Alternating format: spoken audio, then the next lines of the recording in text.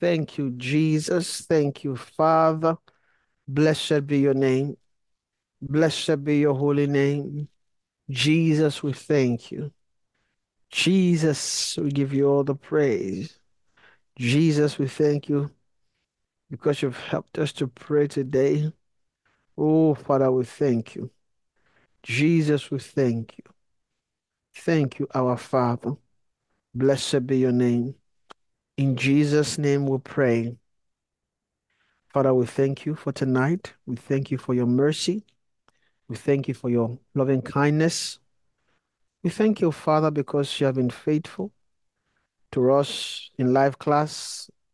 You've poured out so much of your blessing upon us. Father, we are grateful. Lord Jesus, as we're about to move into the class for today, Lord, we ask for mercy and for grace. That as we go into the class, Lord, you will pour out your oil upon us in the name of Jesus. That there will be an outpouring of your spirit and your blessing in our lives in the name of Jesus. Lord, we ask that you will help us to align our thought and our heart with the blessing you've designed for us today in the name of Jesus. Lord, we ask, Father, Paroka FM Sunita, that as we go into the class, Father, that you would help me tonight, even to play the role of uh, of a preparer. That tonight uh, I would be able to add to what your servant has been teaching, has been flowing in, in the name of Jesus. That Lord, you will pour out your Spirit upon me, even to to to to speak concerning even the spirit, soul, and body tonight in the name of Jesus. Father, I ask for help. Let there be help, Father, in the name of Jesus. I ask, Father. Panami Sorakai. Thank you, Jesus. Blessed be your name. Thank you, our Father. Jesus, I thank you.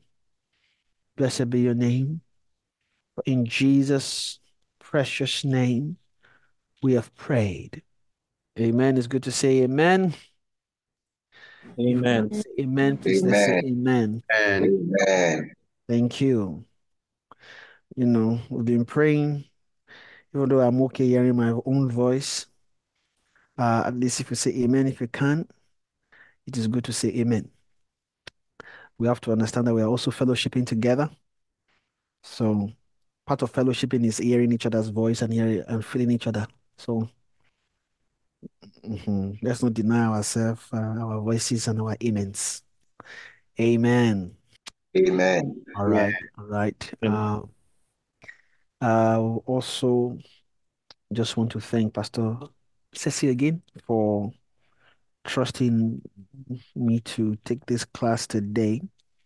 So, like I said, I'll try my best. Uh, I will not take away from you know what Pastor Ceci usually does. So I would like to follow suit in one aspect, which is to get a recap.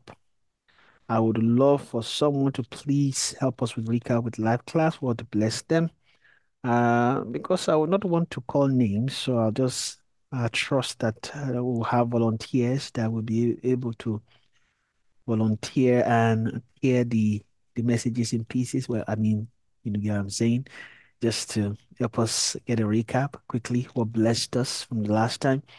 If I can get uh, a volunteer, that would be great. Pastor, welcome good evening, sir. Good evening. I would, uh, I would, I would try and go. Ah, we're so we're slow. Yeah, the one that gave the recap last week. So okay, no Uh, problem. I will, I'll try my best. sir. I'm not too sure, you know, honestly, I'm not too sure I'll, I'll cover everything. That's I'll fine. just what blessed me and maybe that can help um wh- whoever would go after me. Okay. Yes, sir. Thank Um, you. Thank you for yielding. thank you, sir. Um, Pastor Ceci, um, he started off by, I, think he, last week, he didn't start off with the manual. He still wanted to um, emphasize the importance of the spirit man. or I don't know if I'll say the importance of, or he wanted to, let me use the word, he wanted to make us really see our, the the glory, let me use that word, I'm so sorry, sir. Let me use the word. He wanted to make, make us understand or see the glory of our spirit man. And we started from Ephesians chapter 2. But let me just go up because he also went, he also spoke on Ephesians chapter 1 when he, sorry, sir, let me just quickly open my Bible. It says after that you've been, you received the um, spirit of the sorry. Mm-hmm. I'm so sorry, sir. No problem. No problem. Ephesians, Ephesians. Yes, I'll just start from 13, 1 13. It says, In whom ye also trusted, after that ye heard the word of truth, the gospel of your salvation, in whom also after that you believed, you were sealed with the Holy Spirit of promise, okay. which is the earnest of our inheritance until redemption of the possessed possession unto the praise of his glory. But we started to see that the our spirit man is not just um the glory of the spirit man is also that the Holy Spirit is in it. Mm. Let me let me say that because in Ephesians chapter 3, you would see um, that he be strengthened in mind by his spirit, which is in the inner man. That is just that is just um, giving an example, like a scriptural example. But we're seeing that the word, the exact word Pastor Ceci used was that our spirit man is the seat of the Holy Spirit. Mm-hmm. So and and the Bible here says that we were sealed with that Holy Spirit of promise. So he he said we should not um downplay one of the things he was saying is that we should we should not downplay our spirit you know that most times people say um, that we are soul like man is a soul but no man is actually a spirit and if we know um, who we are or what we are in the spirit realm then there's a way we will be living our daily lives because we are carrying not only is our spirit Christ, which Christ is not of this world, um, Christ is of the world to come, but also we are we are also carrying the Holy Ghost in our spirit. So it's almost it's almost the you know, let me just say two, you know, just a combo, but a glorious combo. Let me use that word. Yes. And, and went he went down um in helping us to understand. I, I, know he used this scripture, but he also stated that you can teach it from down up. That was the word he used. But he said that we, we need to know the exceeding. No, he started from 18 that the eyes of your understanding be enlightened, that you may know what is the hope of his calling and what is the riches of of the glory of his inheritance in the saints, mm-hmm. and what is the exceeding greatness of his power towards us, which he wrought in Christ when he raised up Christ from the dead. So he was saying that there was something glorious. There was something very powerful that was wrought in us when we were quickened, when because we had a dead spirit before, which he likened to the body of sin from Romans chapter six. Sorry, I'm jumping back. Okay, it's okay. But, yes. Um, so he, he likened our spirits to the body of sin. Mm-hmm. And he said um that there was something that happened when we were quickened.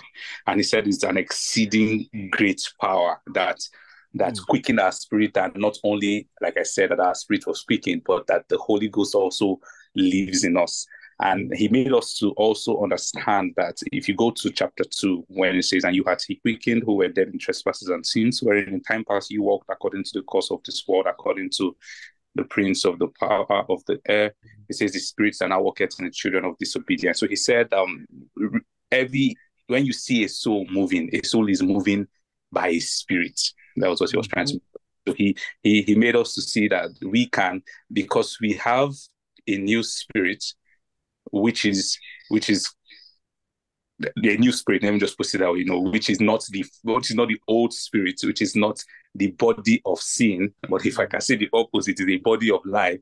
That we can also we can also move or live by that spirit and not by this by the um, prince of the power of the air, which is also a spirit that walketh in the children of disobedience. So he used all the scriptures to, to teach that. And he made us see that in every spirit there's a life. And in I think he went to Romans chapter 8 when he said, um, that the law of the spirit of life, which is in Yes. Christ Jesus, had made us free from the law of sin and death. So we see that there is a law of the spirit of life that is in Christ Jesus. So he said that in every spirit that there is a law, and man ought as we as men, you know, our soul has to live by something.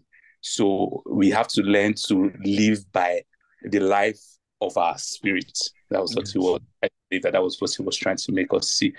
And um, I think he also he also went back to that second First Corinthians chapter two, I believe, when he says that's what man knoweth the things of a man, save the spirit of a man which is in him. And he said that the things, those things are are not, you know, our physical things. It's not, you know, you I be, I believe, you know, that you know you can you can get informations from your spirit concerning, you know, things here, but he he said that the things of your spirits, those things are life things.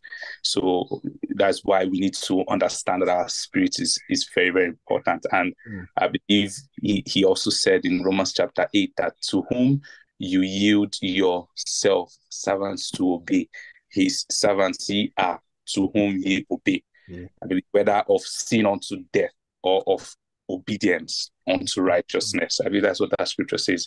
But yes, um, he, he so he said that they that we we have to learn to yield ourselves to the new man, but our spirit man or the body, not the body of death, which is the old spirit, but you know that spirit that has been regenerated, that has been quickened. So we need to learn to always yield to that spirit. And um, I'll stop there, sir. For I'm sorry, I I, I know I didn't cover everything, but sir, so, Ah, but uh, Thank you be. so much. You you helped us greatly.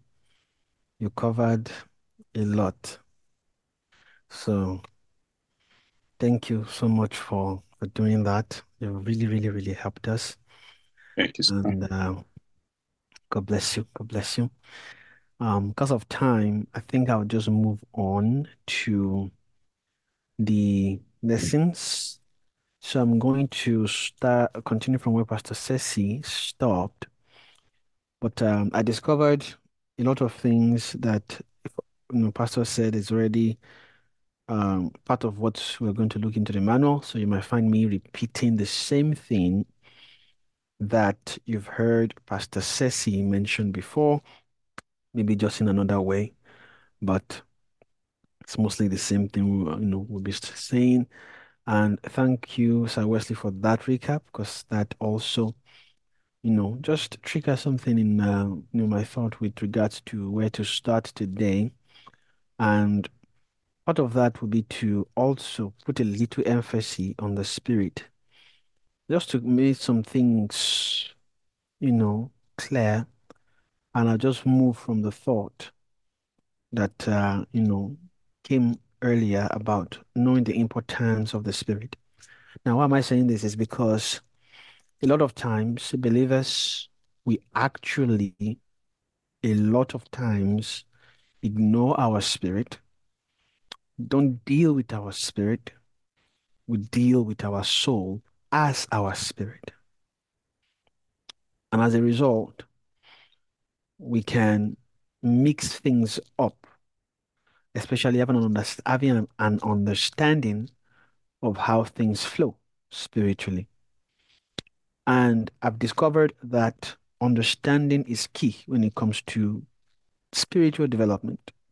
Having clarity of how things work, what is placed where, adds to the building block of every believer, which is why we must be thorough in our learning. Yes, we may not have time. I believe whatever we set our hearts to do, the Lord can help us. Because the scripture says, I can do all things through Christ that strengthens me.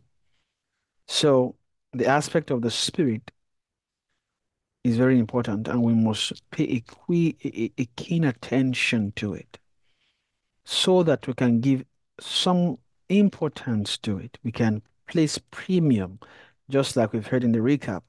We must learn to value our spirit. And we must know that we are spiritual beings. We are spirit that has a soul that lives in the body. And these three aspects is what is being clarified. And so we almost know that the spirit is king, is the most important part of a man because of what it holds.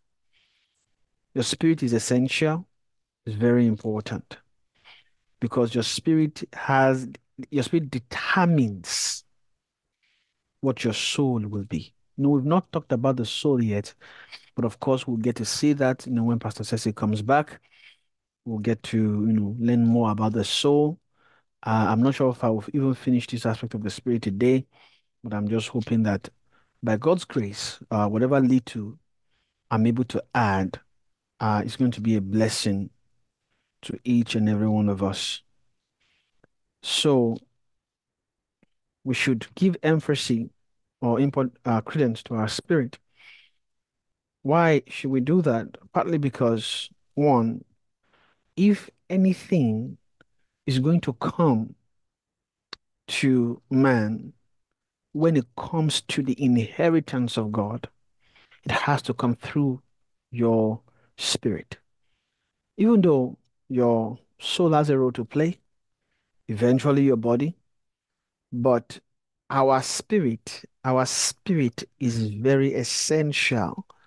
It's like if you have riches for a child and you know that this riches is kept somewhere, maybe in a chest or in a safe, and the child can only get to enrich their own bank if they have access to these riches that is kept somewhere. You know, you know, a child can have their own bank but don't have access to inheritance, right? Speaking naturally. Now, the chest of wealth, riches, of God's things is actually kept in our spirit. Just we've seen that is an exceeding great power that resides in our spirit. Imagine something great enough to hold the Spirit of God in our heart, in our lives. That's the sense I'm getting. Imagine that because our spirit is where the Holy Ghost dwells. It doesn't dwell in the soul, neither does it stay in the body. The only place the Spirit of God can dwell is in our spirit. So if the Holy Ghost is in you, or you say God is in you, right?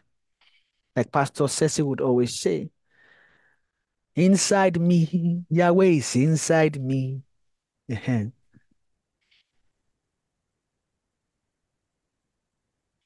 see, Yahweh is God, right? And if it's inside us, where does it stay? Definitely not the soul, definitely not the body. And there's a reason for that. The soul, because of its present state, cannot hold God's house. Eventually, it will, depending on how much we yield to the Lord, right? And so also is our body, because our body will be changed on the last day. However, what is essential in achieving that of the soul being fully saved and that of the body, for that to occur, for that to happen, our spirit plays an important role because it is what is holding a great power. Power for salvation, right? As the book of Romans, chapter 1, verse 17 will say. Can we open that scripture, please? It says, For therein, let's read from 16 actually, says that, For I am not ashamed of the gospel of Christ, for it is the power of God unto salvation to everyone that believeth, to the Jew first, and also to the Greek. Panacella. So we see here that the in this verse, it says that we're not ashamed of the gospel of Christ, for there it is the power of God. Now, unto salvation. It means that the great power inside of us has a goal. It is for salvation. Now, one thing we know is that our Christ, our spirit, sorry, is Christ. So meaning that when they are preaching the gospel of Christ to our soul, right? Because they don't preach to your spirit, they preach to your soul. It what bears witness with that gospel is our spirit, because that gospel is in your spirit. Once you are born again, all that is all that the gospel of Christ is going to design is already in your spirit. That's why we don't play with it, we don't joke with it. Imagine all of salvation program, right? Is dependent on you having that new spirit that is recruited. And we must understand now the the other part that we don't get is that a lot of times we assume that the spirit that is recreated or the spirit that is quickened is the old one that fell, that they refurbished. But this is not so. And this should put confidence in a lot of hearts. Why? Because you have a great blessing inside of you. You just may not know it. You have a great blessing, which is your recreated spirit, which is quickened, right? According to the nature of Christ. That is something powerful. Imagine just look inside of you and see, I have Christ inside of me. It may not show yet. I may not know what yet I will be, but I know when Christ shall appear, I would be like him. You know that in your spirit, you have resources, you have the possibility. You know, a lot of time, uh, you know, Satan speak impossibilities to our soul. That see all this thing they are preaching, see all this thing they are they are talking about. How on a Halima, all the salvation that they're talking about, you can't achieve it. You can't measure up. Why? You've been trying to do the same thing over and over and over and over again, but you keep failing. So definitely, just forget about it. It is impossible. You know, a lot of this also happened to men in the past when they've tried and tried that. You know, they tried to stop. They tried, uh, you know, stopping men from fornicating. They realized that nah, they can't stop it. They try stopping women from fornicating. They can't stop it. Ah, you know what? It is well. We cannot be perfect in this life. All our all our righteousness like filthy garment. That's men giving up. And it's Satan that has taught men to give up on life, right? But we should put a lot of premium on our spirit. Now, one thing I want us to understand is that our spirit is not refurbished. I'm reiterating that. And forgive me, like I said, I may be saying a lot of things. And you know, as I'm saying them, it will just it might cover a lot of things we have in the manual. And because of that, I may speed up a bit depending on how the flow goes. But I, I trust the Lord to help us to just you know touch on on things. Amen. So we see here that uh, for the spirit, there's something we must know about it. Is that it is our spirit, right? That is recreated. It means you have a brand new spirit. Honestly, every single time I think about this, it baffles me myself. How come I have a new spirit? What happened to my old spirit? Shouldn't I have memory loss? Shouldn't I have spirit loss because the old one is gone and the new one is there?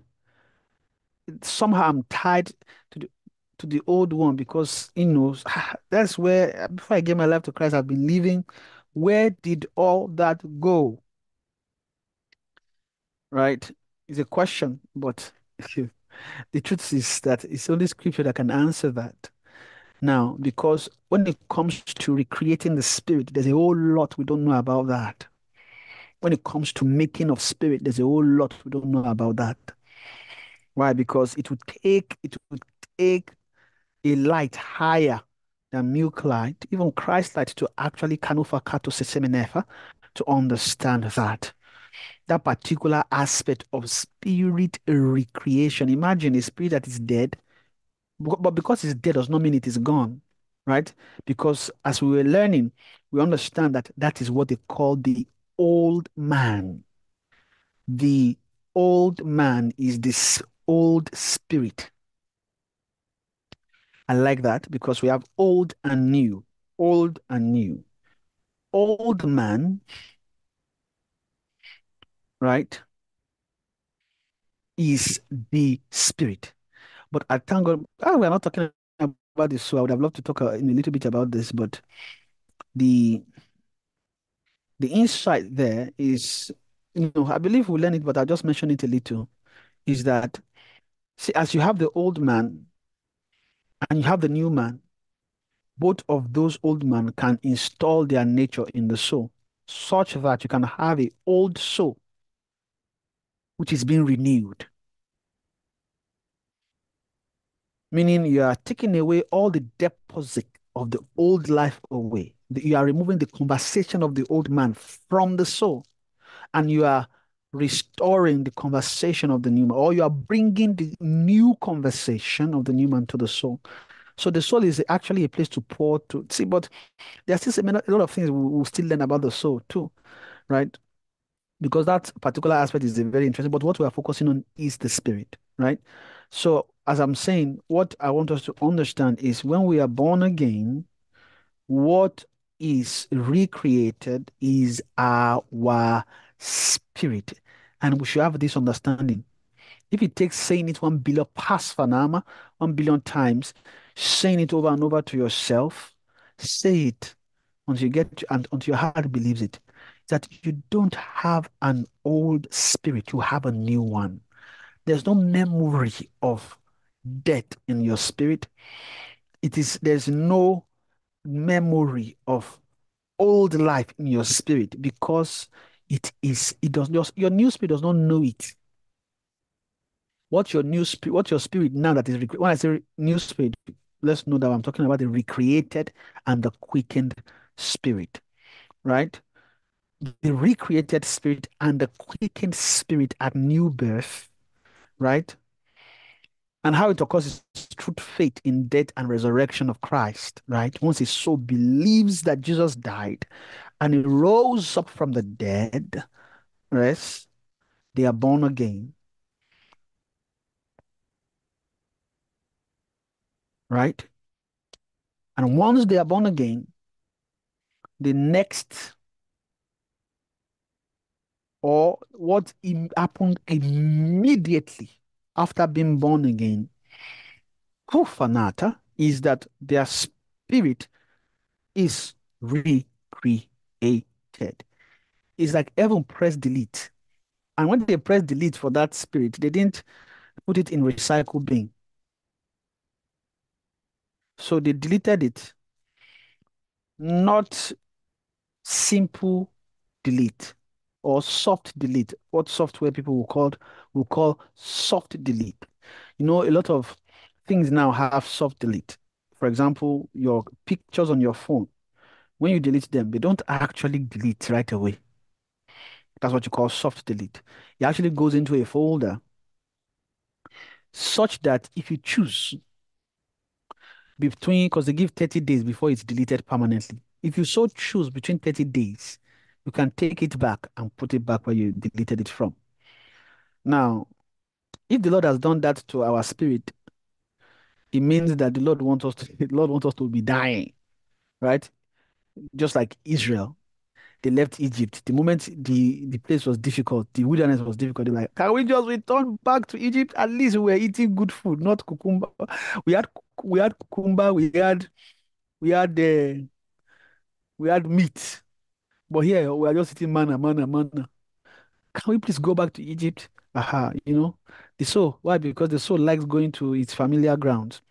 So the Lord did not do a soft delete on the spirit. What the Lord did is the Lord pressed permanent delete on that old spirit. And then you have a brand new recreated spirit. Right? Let's read Ephesians chapter 2, verse 1. Thank you, Jesus. Ephesians chapter 2, read from verse 1. It says that, and you at he quickened who were dead in trespasses and sins. You see, you had he quickened. So when he was talking to them, that you at he quickened, he's talking about what was quickened in their person. You have man. You know, when you are thinking about man, you have to think about man, the entirety of man. Man is spirit, soul, and body. So when you hear man, it's those three entities you are dealing with, right? So when you say you have been quickened, means the spirit was quickened, who was dead in trespasses and in sins. That we've, as we've learned, the, the dead spirit, right, in, since Adam's disobedience, moved into death, right? And it became a chamber of death, right? Where death, it became where it became a place where death leaves, sleep, and wakes up, right? Where Satan can store death and store all kinds of things into, which can both lead the soul, right, as well as instruct the soul. So that was what was happening to man. But you see here that they're saying that we at He quickened. So they've quickened our spirit. That's a quickening. Let's go to Second Corinthians 5 17 so we can put it side by side. Thank you. Second Corinthians 5 7. It says, Therefore, if any man be in Christ, he is a new creature. Old things are passed away. Behold, all things are become new. Behold, all things are become new all things have become new. Therefore, if any man be in Christ, you see, he is a new creature. Amen. And we have to understand this, right? It says, if therefore any man be in Christ, this means that you are born again, right? Christ being in you is another story entirely right? If any man be in Christ, it means that this is a provision in Christ. He is a new creature. Our spirit is in Christ. Our spirit is in Christ. He is a new creature. Old things are passed away. Now, what they are saying here, and I believe this should, this should, honestly, this is some kind of encouragement to each and every one of us. Why? They're saying that old things are passed away. Imagine, it means that in your, when the Lord looks at the record in your spirit, right? Because your spirit is what the Lord deals with directly. Now that you are born again and we'll see that, right? Partly why we should, you know, exalt the spirit, right, to see how important how important it is. See this spirit aspect. Imagine when God looks at the record in your spirit, He's not seeing any record of sin inside that spirit. He looks so when God looks at you, what what what deals with the Lord is that spirit aspect. So even though you know we have sin in our soul, the Lord is not looking at that. He's just looking at your spirit. So when he sees you, he's seeing Christ. Meaning that the least the Lord wants to see you coming to is Christ in your soul. That's the least. Ah, coming to so don't just don't just be born again and remain there. Right? Grow up. I want your spirit, right, to give you all that you need. So when the Lord is looking at you, He's not looking at your sin. He's not looking at all your shortcomings. So you'll be wondering, how is it possible that with all this my fault, the Lord does not does not throw me into lake right away? It's because when He's looking at you, He's not what He's seeing is is is the promise in you that this is a potential, a potential inheritor of life. And anybody that will be a, a potential inheritor must be Christ. And there, where will God see the image of Christ is inside of your spirit. So when the Lord looks at you, is your spirit he sees. And we'll see because the scripture right, tells us that the spirit of man, Panokarama, is the candle of the Lord. The spirit of man is the candle of the Lord, searching all the inward part of the belly. That's thank you, Proverbs 20, 27. Tanakiafa says the spirit of man is the candle of the Lord. The spirit of man is the candle of the Lord, searching all the inward parts of the belly. That belly is the soul. So they're saying that they didn't say that the soul or the belly is the candle of the Lord, even though you can set that one on fire too. They didn't say that the belly is the candle of the Lord. They didn't say that the body is the candle of the Lord. They said the spirit of man is the candle of the Lord. Why is it the candle of the Lord? Because is that that's what communicates with the Lord. Your spirit is, is, is what interacts with the Lord. So if the Lord wants to come to you, where he first of all land is in your spirit, he won't land in your soul, he won't land in your body. Most importantly, because that soul and body aspect, the Lord has put something there that he can't unturn, which is why he deals solely, right, with your spirit. Thank God for that wisdom. If the God I also did the soul, made it that way, right? And we all understood that in the beginning, when man fell, right, because the soul, sorry, because the spirit is dead, that is why the soul had to leave, take up the responsibility. And the Lord had no choice but to start leading them through their soul or to start dealing with man based on their soul. Right? How God was dealing with them, leading them in the is through their soul. And you can tell how difficult it must have been. Why? Because see, that soul thing is not easy to commune with. When you tell it so, please, can you go and do my will? Uh, okay, I'll do it. The next moment, that's changed his mind. It's very unstable. You can't trust it. God does not even trust it. So it means that when God is dealing with Noah, Abraham, we should see the strength within them for them to be able to follow the Lord. It means that ah, God found some strong man on the earth, men on there that he was able to work with. Imagine within their soul, they were able to respond to the Lord. Right? But the Lord did not design it such a way that he would just lead man through his soul. It's through his spirit. He wants to commune with man. And eventually, of course, he will impact the soul and the body. So you now see why God could not even use the old man, which is the spirit that died. God had to recreate a new spirit after Christ, which now becomes your spirit. And see, this thing is why you should even thank God for believers. You know why? Because every believer that is a child of God is cre- has their spirit recreated with the same image. when I say image, with the same Christ. That is why we are all Christs in our spirit.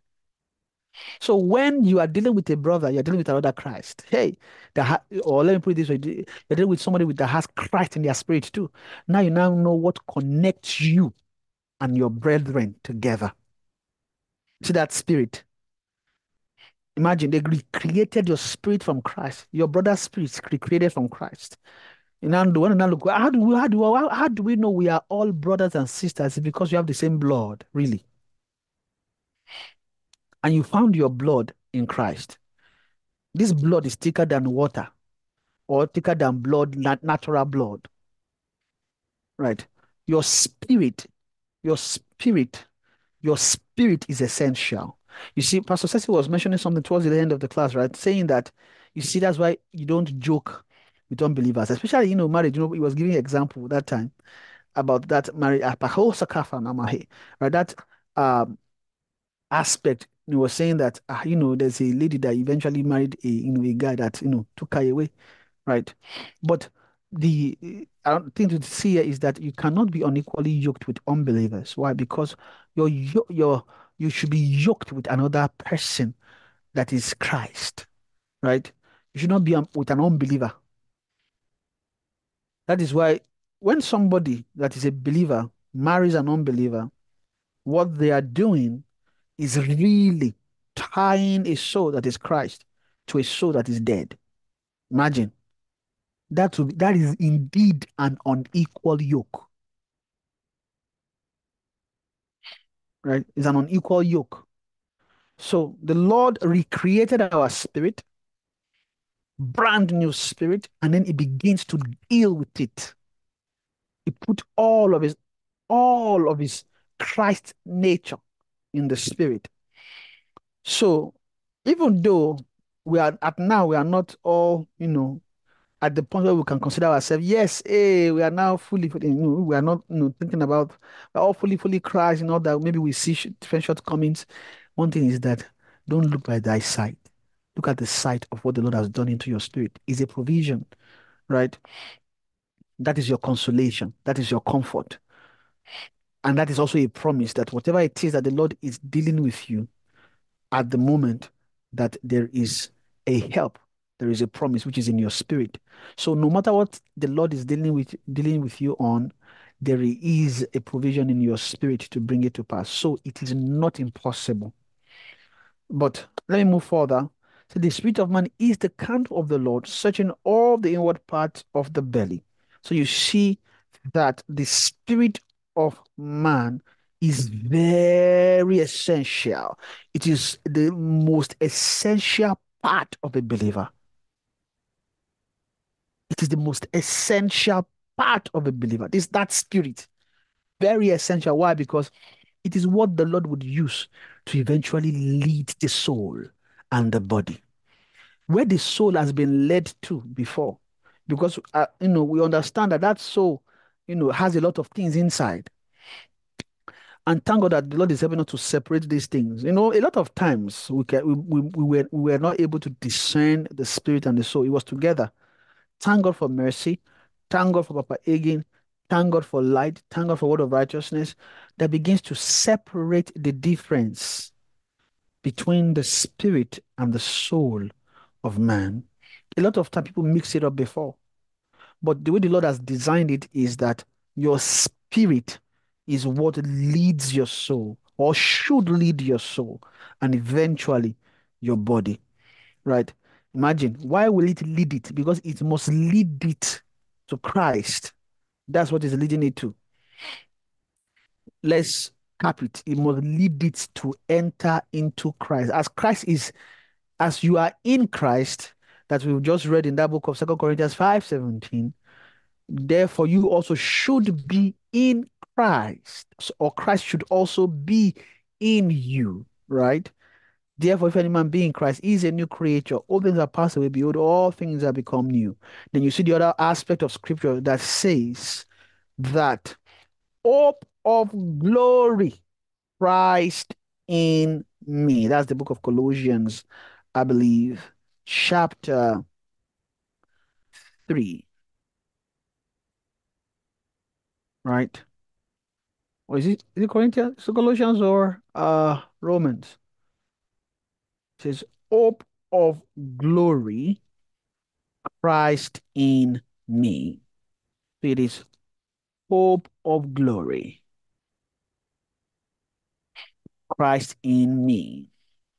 That's Colossians 1, I believe. Verse 27. We are there. So, to whom God would make known what is the riches of the glory of this mystery among the Gentiles, which is Christ in you, the hope of glory. Christ in you, the God. So we now see that there's a there's an actual difference between you being in Christ and Christ being in you. They are two different things. And scripture made us understand that there is that which is hope of glory, Christ in you, or Christ in me. So it is clear there's a separation between I in Christ and Christ in me. So the purpose of recreating your spirit that is Christ is so that it can lead your soul, right? To the point that Christ is now in your soul, right? But that is a conversation, you know, ahead of this class, but just giving us insight a little bit into why they must lead your soul. So you see, this the reason why we can't underestimate the spirit of man. You cannot underestimate your spirit. You should thank I like this because it's putting a lot of lot of emphasis and clarification around our understanding. You know, a lot of believer miss it, especially hearing word of righteousness, because of the explanation of the soul. A lot of times we lose sense of the spirit aspect. But word of righteousness did not come to throw away the sense of the spirit, rather, but to build on it. Because you must know all the truths about your spirit. So thank God that they are telling us the importance of our spirit. We are seeing it here. We must know the truth of our spirit. So that by the time we are journeying, right, in God and we are beginning to see the soul much more better, it is very easy to lose sense of this part of the spirit because of the emphasis. You know, the emphasis is spirit, soul, and body. Eventually, the Lord would, you know, the body is the last thing they will change. So the spirit is addressed. Now the Lord is addressing the soul, but eventually the body is the last one. Why? At the last trump, that's at the last revelation of the light, that the body would also be changed. Sleep is going away. That's God's wisdom. Amen. So we see that we cannot, we are not denying the truth of what is in the body, of what is in the spirit, right? We are not, but we are just building on it. So let, we are taking time to emphasize the truth around your spirit and my spirit, right? So one thing we see, I'm, I'm not saying that is is a good aspect of man. So the spirit, I'm, I'm saying it is what it is the most essential part of a believer, right?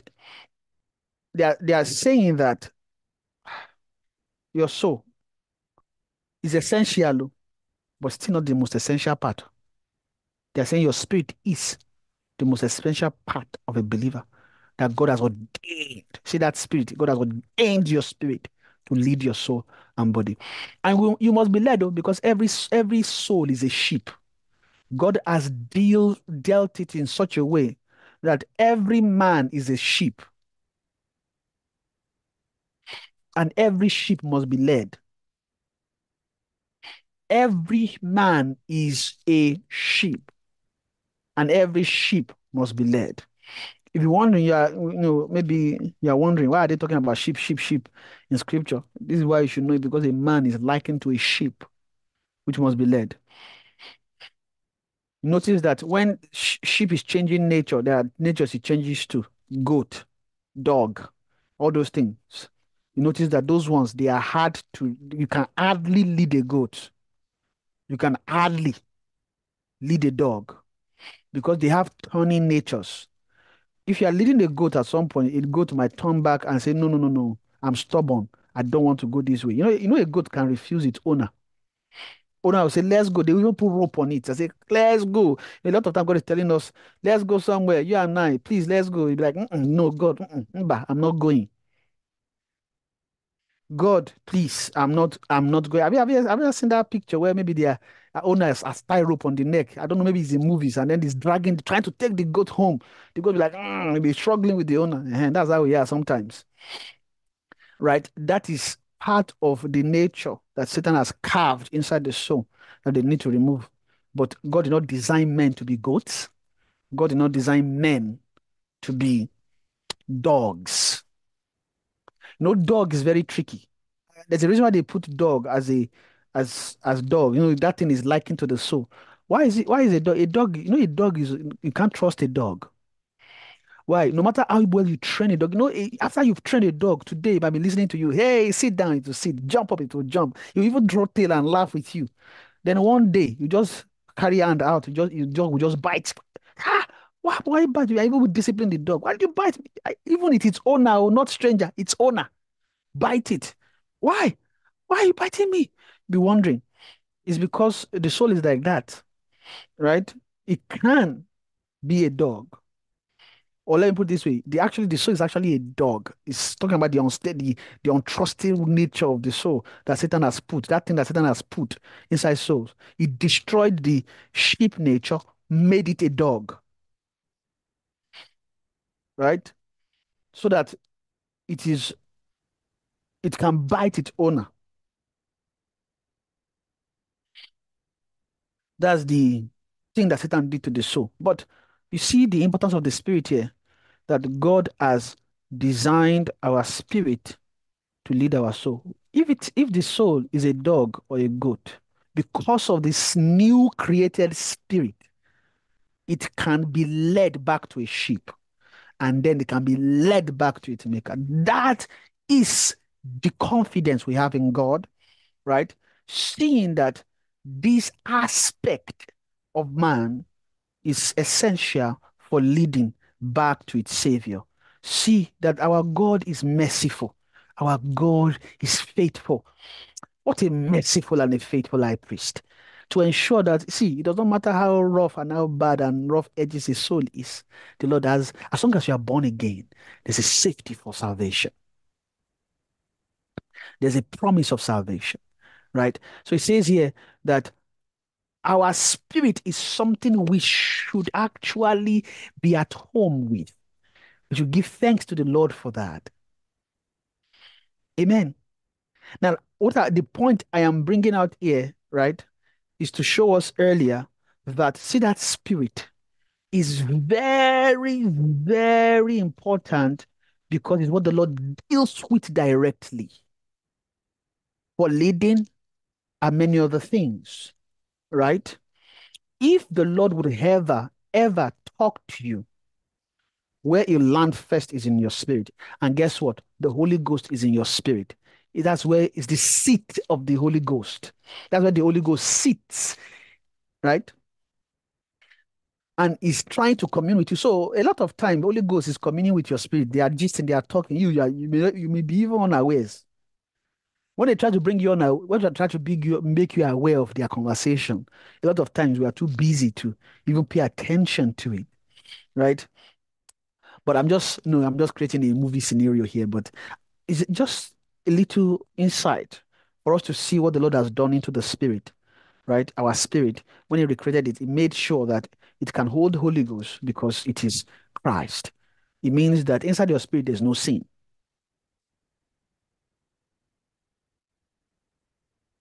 Right? There's no sin in your spirit. Born again Christian, tongue talking, right? When you are born again, let me, let me not put the other one. Let me just say, once you are born again, your spirit is recreated. God will not recreated your spirit with sin. Your spirit has no sin. It has no sin. It has no sin. Your spirit is created after Christ, it means that the reality of it is that it is that that uh, that spirit is clean. It's Christ. That's why I say, if any man be in Christ, he is a new creature, right? If any man be in Christ. So if any man be in Christ, he is a new creature. Old things are passed away. They didn't say old things are swept under the rug. I want us to pay attention to that word pass away. When something passes, it is dead. When something passes, it is gone. When it has passed on, it passed, passed away. It is gone. It's moved. Say that passed is with speed. it passed away. Behold, all things are become new. They're saying all things in your spirit, all things spirit are new. All things are become new. All of it. There is nothing, no refurbish is not new. Right? Refurbish is not new. Fixed is not new. Retouched is not new. If you repaint something, it doesn't mean it's new. It says new means a brand, brand new, recreated new parts. Eh? If you have a new car that is brand new, it is not a car with old parts that they change the parts and make new. No, it's brand new. Cha cha. That's what they call it. Cha cha. Cha ching. That's the spirit. That's what is inside. That's what you have. I'm saying this because a lot of things is going on around this, you know, a lot of understanding too with regard to the spirit, whereby, you know, a lot of times we just, we, we assume the way our soul is, that's the way our spirit is. So when we are dealing with the Lord and we're even thinking of our spirit, we assume it is like a sinful soul. No. It's a, some kind of assumption there. It's brand new, meaning that your spirit will not lead you wrong. It's not try, it's trying to lead you according to Christ. This is why we should fall in love with our spirit. We are spirits. We should know that. And as a spirit, as a spirit, uh, who has a soul that lives in the body, you, are, you, you can be rest assured that you don't have a refurbished spirit. So you have a brand new one, clean, and it is your own. When I say your means that it is in you. It's not anything strange. So when you are thinking about your life, ah, trust, you can, that means you can trust the Spirit of God in your spirit, and you can trust that your spirit can tell, that can lead you aright. Why? Because the Lord, one thing, I'm saying all this thing just give us, like I said, I might cover some of the things in the book, but I, I, the way I'm even saying it is like the Lord is even leading us around the points one by one. i I'm actually talking about different points in that book if if we are following, we'll see. But but I'm just flowing as it is coming. So you see this aspect of the spirit, the aspect of it, the spirit being um recreated, right? The Lord can lead it, the Lord can move it. It's a sure, it's a sure banker for you because it does not argue with the Lord, right? See that aspect of your spirit that is recreated they are saying that that spirit is also the one that is one with Christ, meaning it is one with the Lord because it is in Christ. if it is in Christ, it is one with Christ. It means that it's not different from what Christ is. It is one because it is. I mean, and, and I know we can understand why because it is created out of Christ. It is made after. If any man be in Christ, if any man, any man, any man, that man there is the spirit. So when they refer, you know, when they refer to man, you have to know which part are they referring to? Is it spirit? Is it soul? Is it body? But here they made it clear. If any man, which are spirit, be in Christ, he is a new creature. Why? Because the soul is not recreated. The Lord does not design the soul to be something recreatable. Right? So we know that if the soul is recreatable, then we would have a lot of loss losses, right? There won't even, even be a need for a recreated spirit. Why? Because the Lord will just recreate the soul, finish. Then there's no need to give birth to kids anymore, right? Because souls can be created at will. You see, so there's a reason why the Lord make sure that our spirit is recreated. One thing that we know for sure is that that spirit and soul is tied together a lot. The only reason why we can separate them now is because of the scripture, because it's only the word of God that is able to divide asunder even both spirit and souls, right? And bones and marrows. It is the word of God that can divide asunder. So let me go further. What I was explaining earlier is that the spirit of man, right, is recreated anew, right? Essential because is what the Lord would use to lead a believer. Right? It is also the aspect of man that is one with Christ because of the new birth experience. We can read Ephesians chapter 2, and then I know we read it, but let's read Ephesians chapter 2, verse 1. We just quickly read it for more insight. Thank you, Jesus.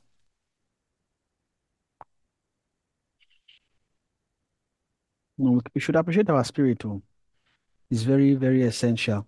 Like I said, I apologize. I'm not giving a lot of examples, so I'm not like a pastor, so I'm just trying to fit into his shoe.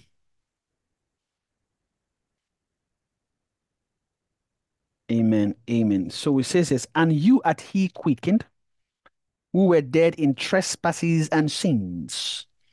Next.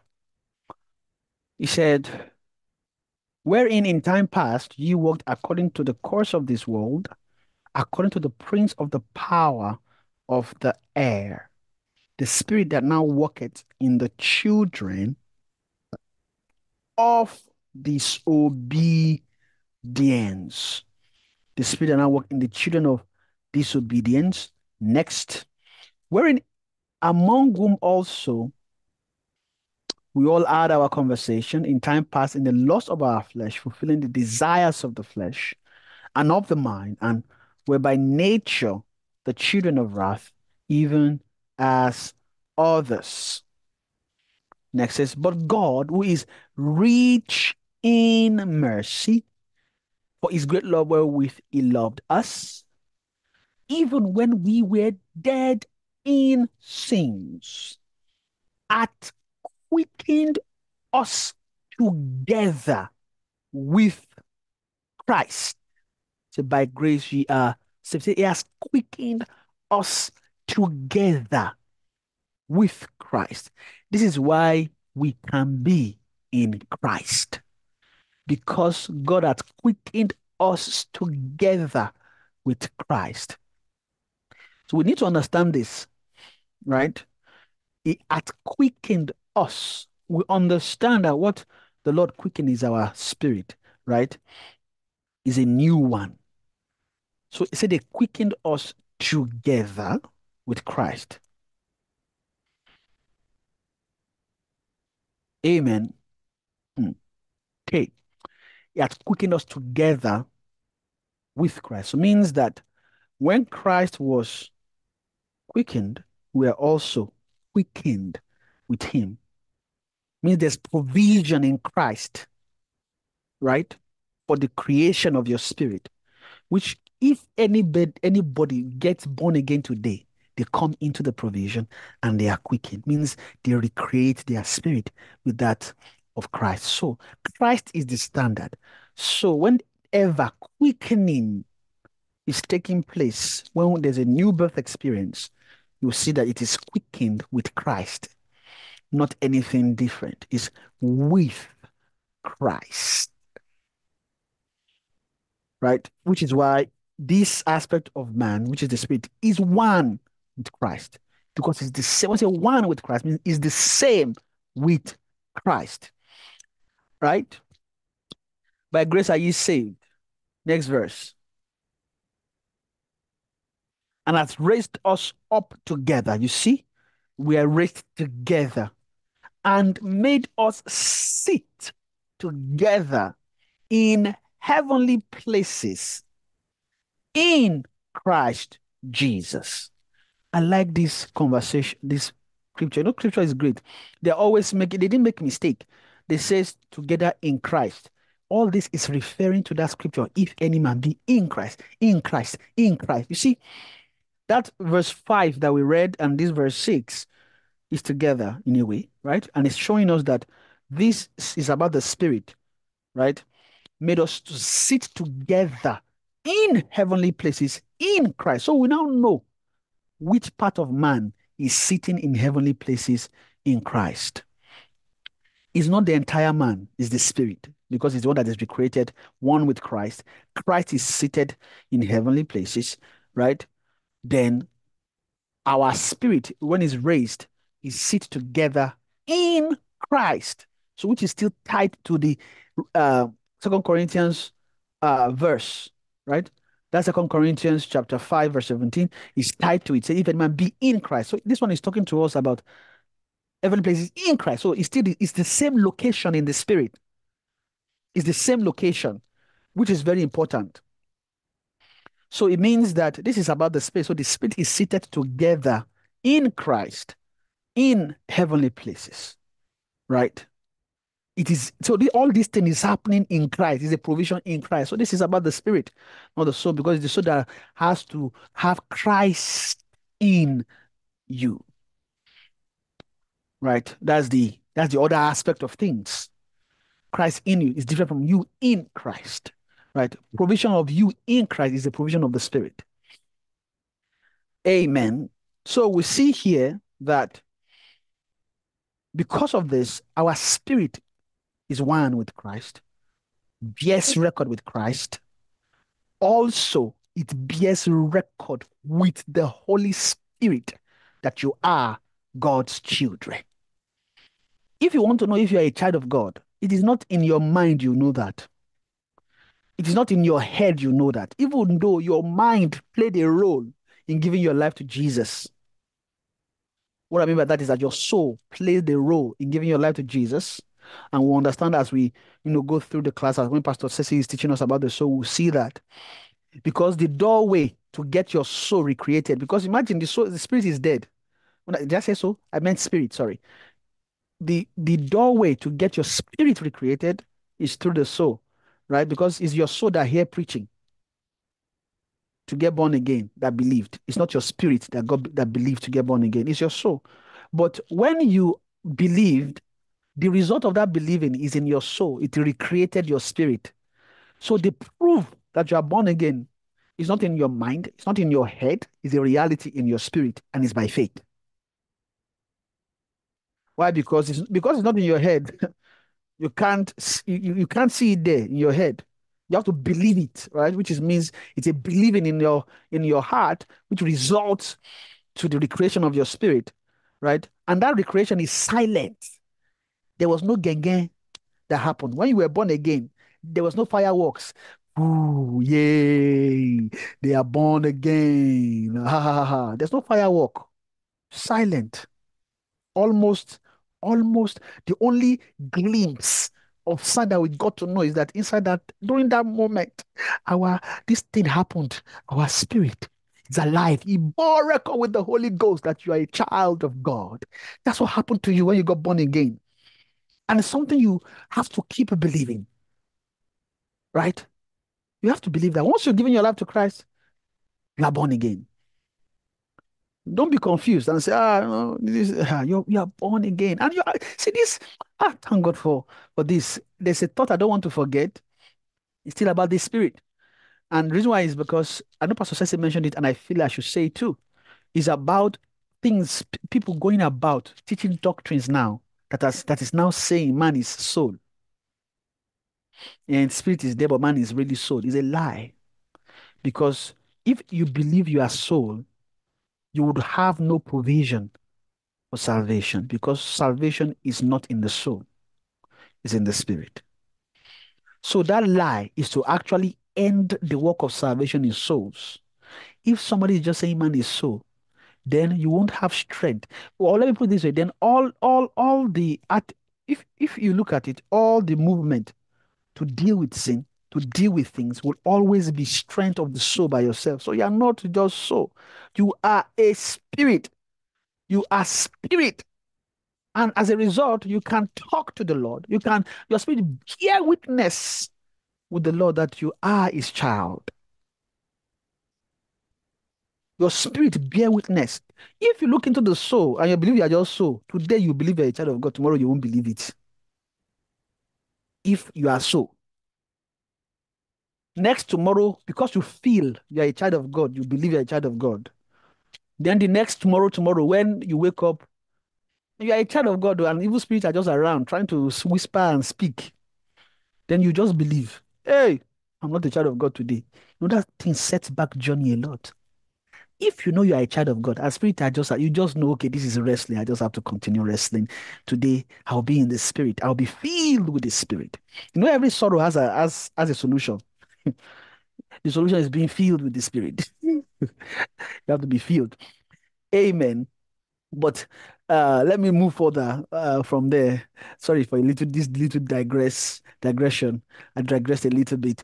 But the the the importance of what I want us to see is here is that it is our spirit. That's how you know that you're a child of God. Right?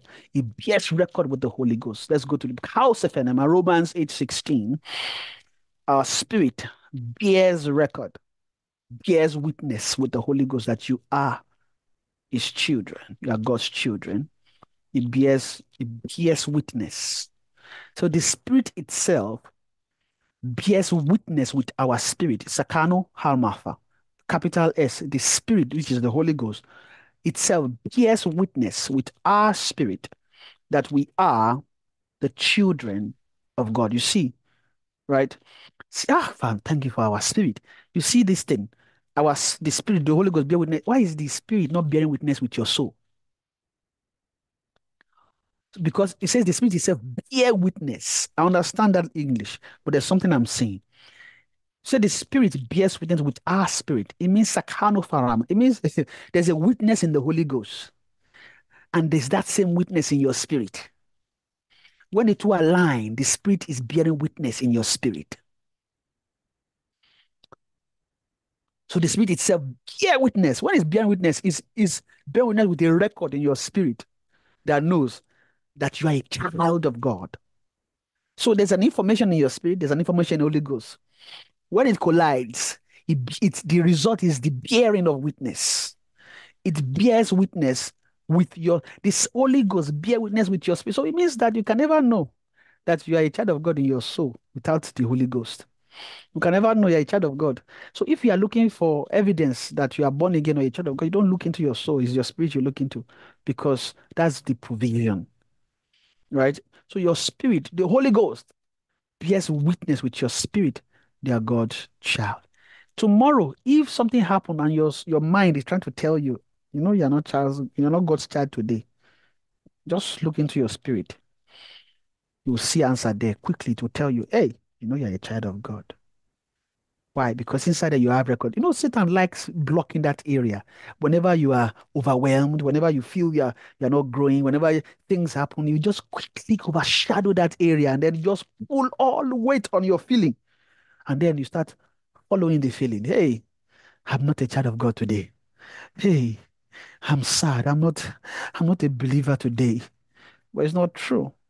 There's just a there's a there's a veil. Satan is trying to lie to you to keep believing the lie, to not even check your spirit.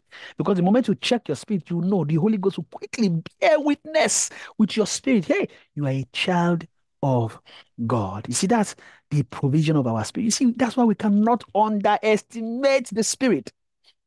We must See this thing, we are exalting the spirit of man to see the important work that it's doing.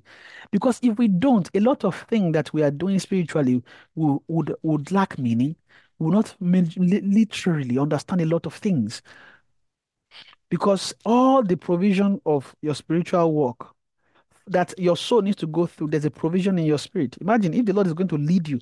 Remember, Papa again told us, right, that the primary way God has decided He will lead His children, you know, as sheep, who lead these children is through the inward witness. Where inward witness is, is in your spirit. That inward witness is a witness, right? Inward witness is a witness. And I believe it's also a witness with the Holy Ghost. So when the Holy Ghost is talking, is talking to your spirit, your spirit knows. No, that's why we should we should we should trust our spirit. Why? Because your spirit is not a mental thing.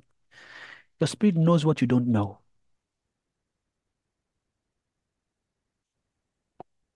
Your spirit knows what you don't know.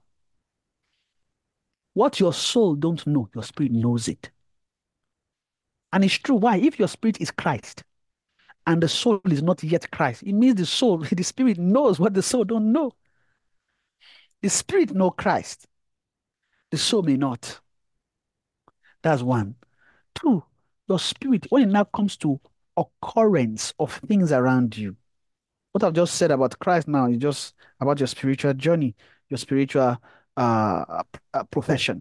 But when we now move into just your everyday life, your spirit knows a lot that your mind and heart do not know. When you say heart and mind, you know that's your soul. Because those are major regions of your soul. We'll learn about that. We'll also learn about that in the soul aspect of this class. You see here that your spirit knows what your mind and heart do not know. So when you are trying to go about your day and your spirit is, you know, a lot of times, ah, I start thinking how to go. Thank you, Lord Jesus. I'm going to just put a little emphasis on this aspect, this, this, this aspect of your spirit knows what your mind doesn't know. I want to, ah, I hope God will help me tonight to describe this because it's very essential. You know, a lot of this is a lot of things. You know, th- th- these things we have to clarify them because when we don't know them, we miss out on truth. See, when your spirit is leading you, or when your spirit is talking to you, you know your spirit does not always talk like a loud voice. Hey, Jide, don't go to Allen Avenue today. Hey, Jide, don't go to 4th Street. Don't go to Bronson Street today. Hey, Jide, don't go, don't go to Osborne Street today. You know, a lot of time we expect our spirit to be talking like that. A lot of time, your spirit doesn't open mouth. It's a feeling inside you. You just, just pick a, it's, if, if you've been paying attention, you will know it. When your spirit is talking to you, it, it's as if it talked, but it didn't talk. How? You just know. That's the best way I can say. Just know. Your spirit is saying, go. Imagine when you maybe you are cooking and you thought just you just realize that your heart is just going to us, go and cook or go and pick salt. You didn't hear anything talk to you. You just realize that your heart is going to us, go and pick salt. That's your spirit talking to you. And I have to be careful here too, because you know, we can be extreme about it and start hearing all kinds of spirit. Here. So here we have to be very careful. I'm just trying. I'm not giving a formula. Now, because spirit, they they sit on formula. Evil spirit, they sit on it. If somebody gives you formula now, if you want to know, sit down, uh, raise up your leg, and then heaven will come down. What is going to happen is that you are going to be opened to evil spirit, and you think that the spirit of God. That's why formula giving is not something. What we what you see that the Lord encourages is talking about experiences. Because when you talk about experience, it can impact faith and insight into souls, but it's not given as a formula. Also, you know, when we hear experience or we are hearing examples, a lot of time, the way we also pick our sense around them is, ah, this is how, what they said. We, we read it like formula. Let me go and copy and paste. Hold on, no, be careful about that. When you hear experience, the what you should look for inside that is the spirit inside the experience. Means that what is the spirit pouring from that experience? Because it can be an impartation of life. And no matter hell now. You see, now when I'm saying these things, it's just I'm talking from experience. A lot of time, maybe I'm going out and I've what sometimes the way my spirit will talk talk to me is it will just point out to me, you forgot your wallet. Your wallet. It, it, will just occur to me, my wallet. So it's almost like something, it's just like a reminder, hey, like I'm not with my wallet too. When I check, I don't have it with me. It may not categorically say, go and pick your wallet. No, it just come like your wallet. It's just like a knowing, ah, my wallet is not with me.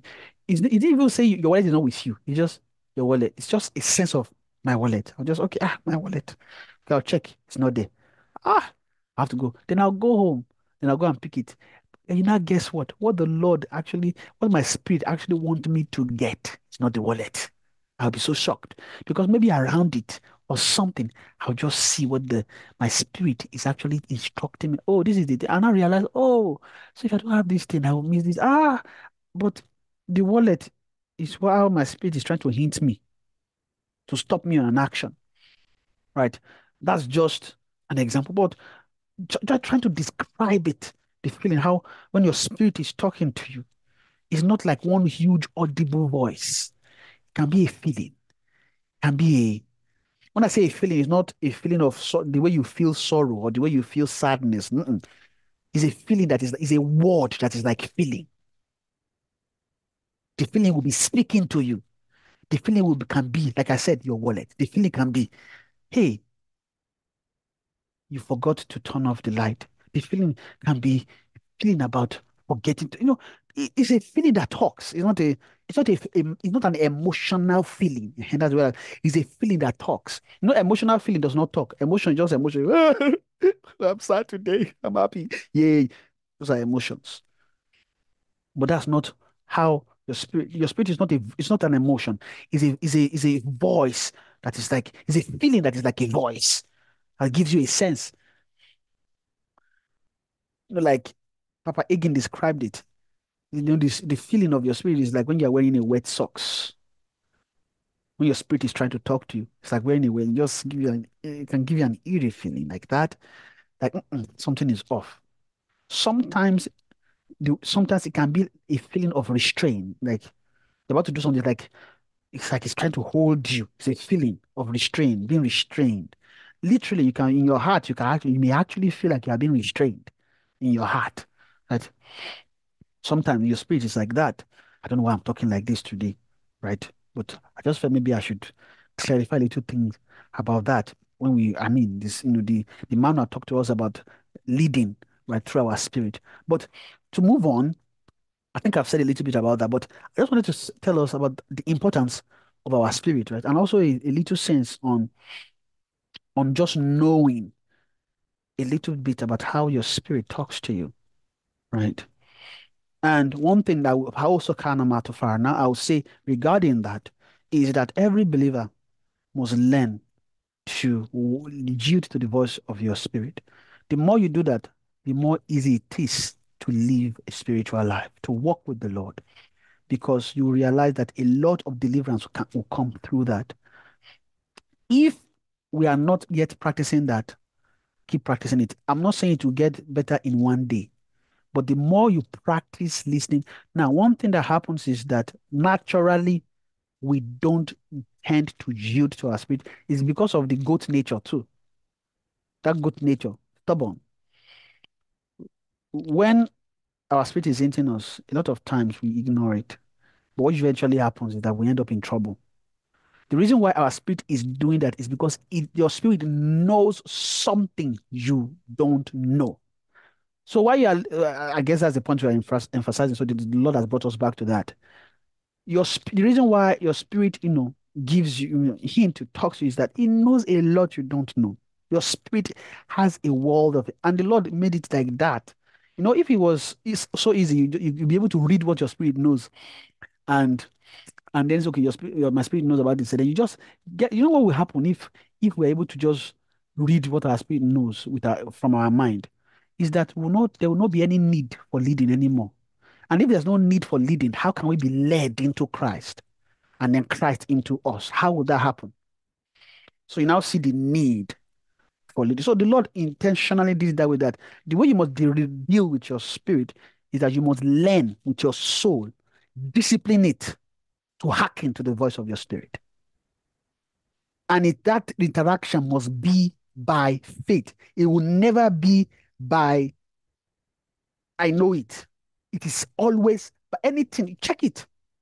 When your spirit is, why? Because you look at things not seen. Your spirit is seeing it, your soul is not, even though your soul is spiritual. So when your spirit is talking, is hinting, is restraining, is encouraging, yield to your spirit. So this is also an encouragement. See, you will not have every believer will not have a prospering spiritual life if you don't learn to pal with your spirit. When I say pal, I mean be friends with it. When it talks, believe it quickly. Why? Because when we are not friends with our spirit, a lot of things can happen in our soul. Satan can lie a lot. Then souls can be on on can be wavy, can be shaky. Right? can be up and down. But when you learn to, it becomes easy for your pastor to pastor you, for the Lord to pastor you. It become everything just becomes easy when you are pal with your spirit. And you being pal with your spirit does not mean you will be happy every single day. You know, there's a picture we, we see about you know, happy. I mean, now in my spirit, I'll just be happy every day. There will never be any sadness. Oh my God, I'll just be floating upon water. No, it's not like that. You are in a battle zone. Every day you are alive, you are ready to war. So don't expect that because you are part with your spirit, it's just going to be all. But one thing you can be rest assured of is victory. When you pal with your spirit, it means that you would align with God's will. Would align with God's will for your life. Amen. So, what I'm been, I've been emphasizing is that our spirit knows what we don't know, knows what, most importantly, what your mind and your heart do not know, your spirit knows it. And don't be afraid to launch into such experience of just trusting your spirit. If there's anything to trust, you can trust your spirit. Don't see if you your soul is not something to trust to. What you trust is your spirit. But thank God that they're going to teach us a lot about us so that we can see some of the things that we can't trust. You don't trust your, your emotions. Emotion can lie.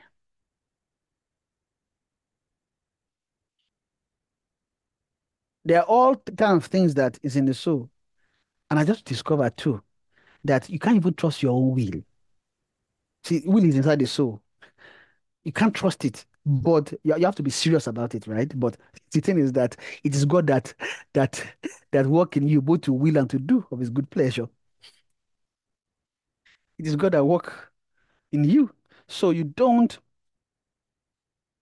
trust what you trust is your spirit because you can be rest assured that the Lord would lead you from your spirit. So you what you trust in your spirit, your spirit knows more than you think it does. Your spirit knows about the spiritual resources coming to you. Your spirit knows about your leading to life. Your spirit knows all of that. So learn to trust your spirit, not your mind. You, you, when you begin to trust your spirit, you realize that it's always giving you information that your mind does not necessarily all the time agree with. Sometimes he agrees with it, sometimes he doesn't. But one thing you will know is that the Lord, ah, thank God for the Lord Jesus, because he has done such a great work that if you are sincere and just want to know and work with your spirit, you can do that easily without any issues. You can do that. It's not, that's not, we should not overcomplicate our work with the Lord. You know, sometimes we like being spooky. That's why a lot of our problem comes from. Once we move into freedom of the spirit, simplicity, you realize that a lot of things is actually easy to discover in the spirit.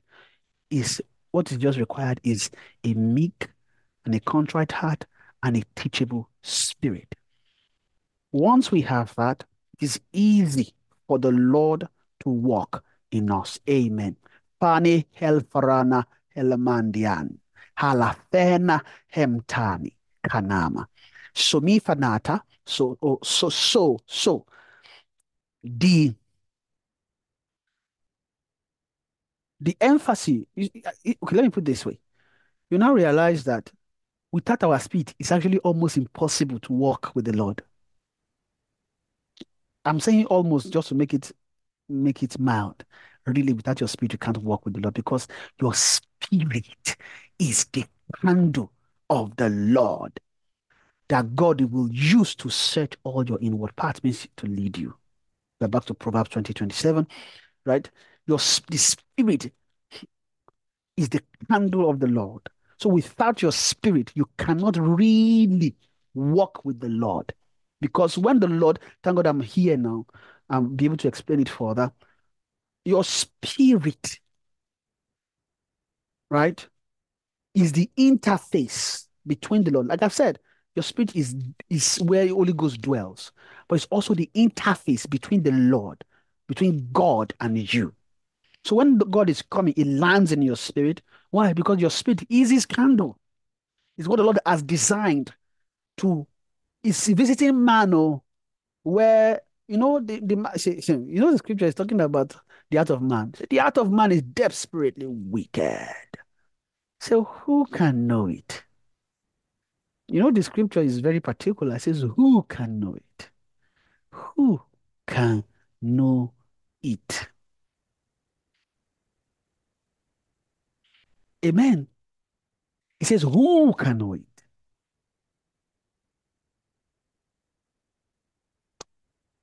Let's read that verse actually. The art of man in a soul is desperately wicked. Who can know it? Mm.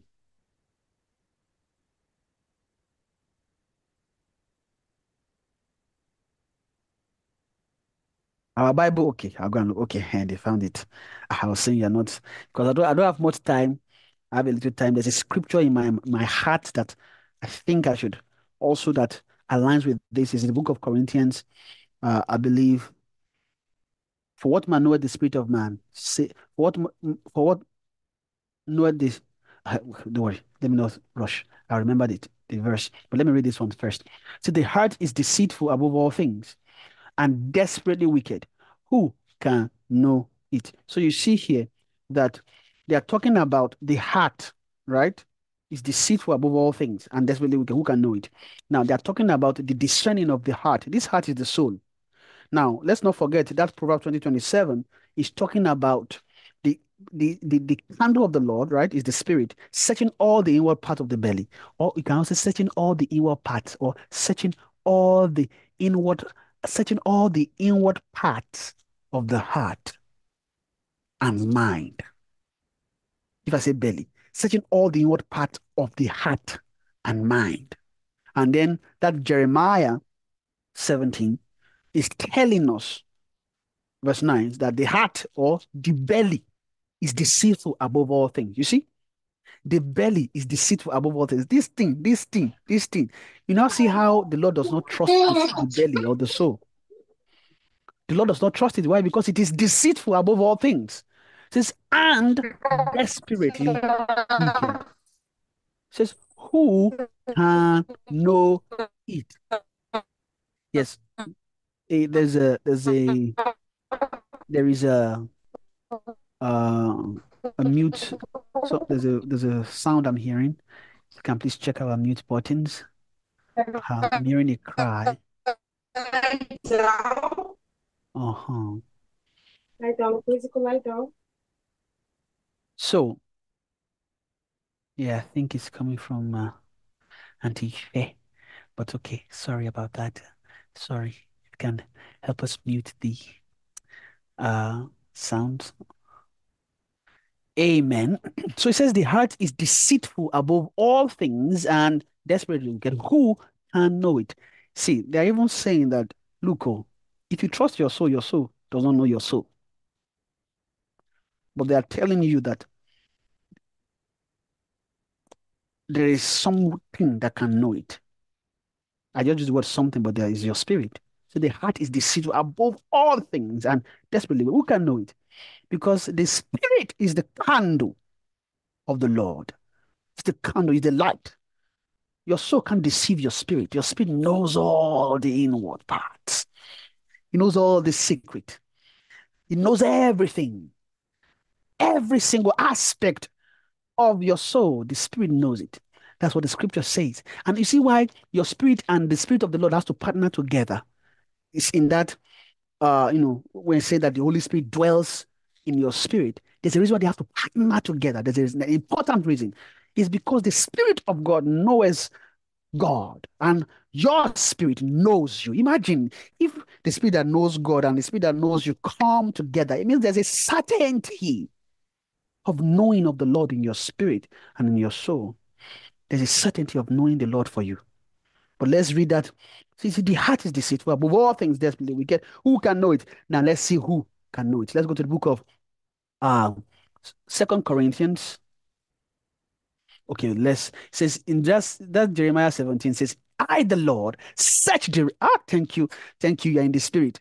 Now I was going to move because of speed. I, am going to end quickly, but I think this is important because it, it, it, helps us to understand that the spirit of man is the candle of the Lord, right? It says, I the Lord search the heart.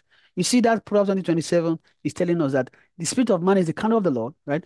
Searching all the inward parts of the belly.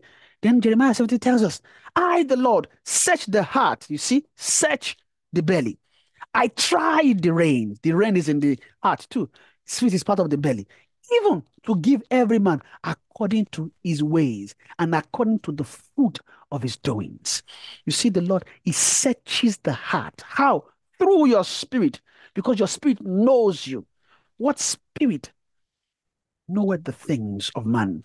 Say it, the spirit. What what knoweth man? Say the spirit. Let's go there. First Corinthians chapter 2, verse 11. Say, for what man?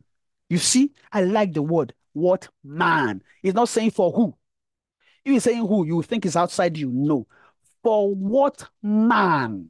You see, what man? What they are telling you is out of spirit, soul, and body. Spirit, soul, and body. Out of that, it is not who. For what man? What that means is that so forget about anybody else outside man himself knowing man. If your neighbor thinks they know you, they don't know you yet. Too. Oh. They just know what they are seeing. Say, for what man knoweth the things of a man? So they're not talking about you, inside of you, spirit, soul, and body. Which aspect of this knows the man? They're saying that for what man know the things of man, save the spirit of man, which is in him. So this statement means this that number one, no man, I mean, man outside you can know the things of you. Save your spirit. Even when, now, when now move into you as a man, spirit, soul, and body, none of the soul or the body knows the things of man.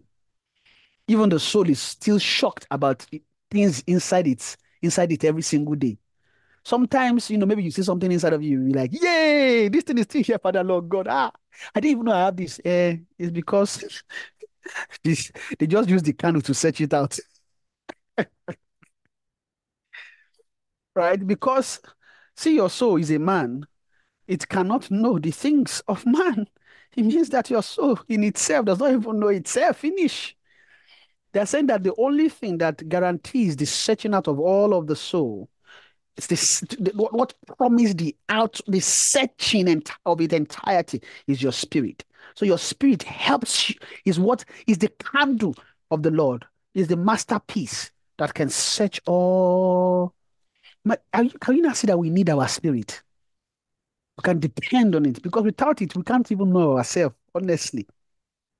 So, for what man did it save the spirit of man which is in him? So, when it says that the heart of man is, see, says the, the, the heart of man is deceitful in all things and is desperately wicked. Who can know it? This is who can know it. It is the spirit of man that search all the inward parts. Is the one that knows. Say, even so, the things of God know it, no man, but the spirit of God. You see the merging I was talking about that even so these things of God knoweth no man. Means that the things of God cannot move into man, but the Spirit of God can move into man. And also, the Spirit of God can bring the things of God into the spirit of man for the soul of man. You see here the interaction. So, the gateway to the Lord is your spirit. Your spirit is what allows you to contact the Lord. So when the Lord is looking at you, when the Lord wants to operate salvation, you come, bam, up, He moves into, he moves down, looks into your spirit. Then with, the, with your spirit, the candle, he says, ah, this is the one we are dealing with today. The Lord knows that is your spirit because your spirit knows you. It can't come to your body. It can't come to your soul. It comes to your spirit. Eventually, because of your spirit, we can know, Lord, knows your soul, He knows your body. But Lord, you know, the Lord is, does not do anything haphazardly. It, there's a design, architect, master architect. The Lord designed it such that your spirit, He can use it to know you. To know all the things that Satan has embedded all the things, secret things that even where Satan has kept things. This is where you should be excited and joyful to the Lord that no matter what work has been done in my soul, there is a salvation program which the Lord has put in my spirit. You know, this thing is making us to see our spirit. Be pals with your spirit, I beg you.